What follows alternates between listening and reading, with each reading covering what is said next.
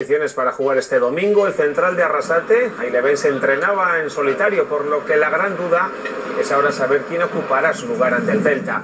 Será Jonan Sotegui, será Gorka Elustondo, lo cierto es que el único que tiene plaza segura en el eje de la zaga es un Íñigo Martínez, que hoy ha confirmado que se encuentra negociando para ampliar su contrato pese a los cantos de sirena que parece llegan desde Alemania.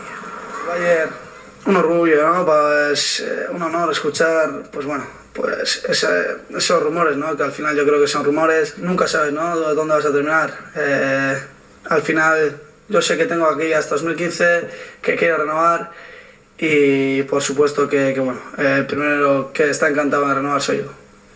Eh, están hablando, están negociando y bueno, eh, todas, todas las negociaciones no suelen ser rápidas